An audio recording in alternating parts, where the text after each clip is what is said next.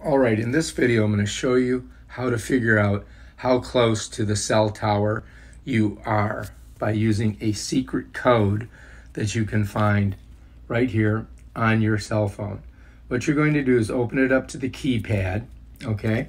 And you're going to hit this little icon right here, which I think is a star. Then you're going to go 3001.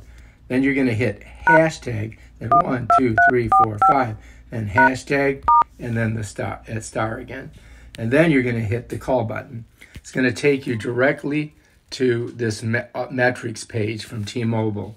And then you want to go to the RAT, which is serving cell information. So you're going to click this. It's going to bring this page up, and then you're going to go down to RSRP, and you're going to get a number here.